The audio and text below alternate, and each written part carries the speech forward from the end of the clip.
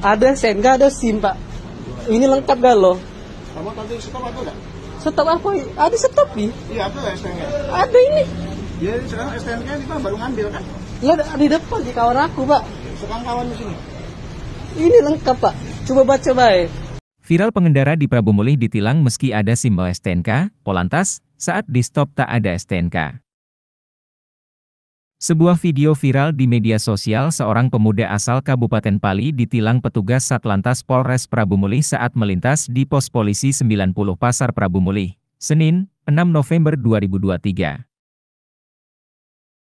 Video tersebut diunggah pemilik akun Aditya7719 di media sosial TikTok dan ramai dikomentari banyak netizen.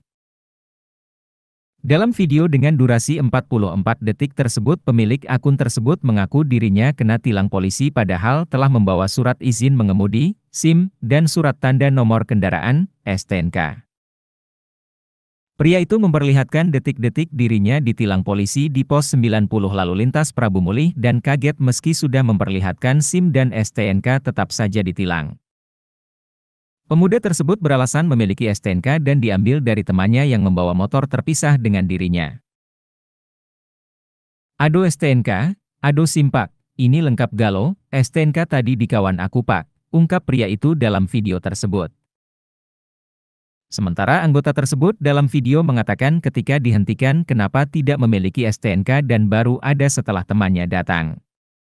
Kamu waktu dihentikan, tidak ada STNK.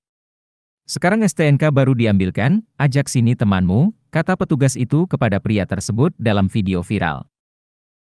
Video itu mendapat respons dari netizen dengan berbagai pendapat dan bahkan menjadi kontroversi seputar penegakan hukum lalu lintas di kota Prabu Muli.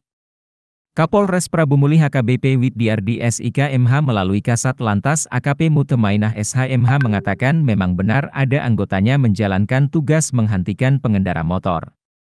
Saat itu pemuda itu dihentikan tidak ada STNK tapi hanya ada SIM, lalu dilakukan penilangan dan karena susah nulis berdiri anggota kita ke pos, lalu setelah 15 menit pemuda itu datang membawa STNK, katanya.